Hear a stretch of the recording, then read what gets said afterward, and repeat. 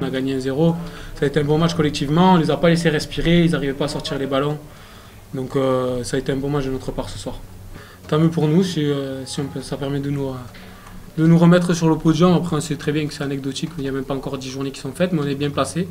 C'est très bien parce qu'il y a le championnat d'hiver va commencer, entre guillemets, le championnat d'hiver, mais le terrain va être gras, il risque d'y avoir quelques un peu plus de blessures. Donc c'est bien d'être bien placé pour, euh, pour attaquer cette période. Moi, je suis très fatigué et j'ai beaucoup souffert hein, dans ce match. Je crois que c'est celui où j'ai le plus souffert parce que se créer autant de situations euh, offensives et trembler jusqu'à la fin, on a failli encore euh, sur, sur une faute défensive se faire, se faire égaliser.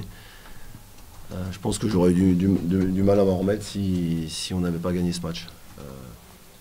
Voilà, je crois que tout a été bien fait, sauf le travail de, finition, que ce soit, devant le but ou dans la dernière passe. J'ai pas rien à reprocher aux joueurs, sauf de faire pas les bons choix ou pas le bon geste technique dans la finition, parce que pour le reste, il n'y a pas grand-chose à leur reprocher.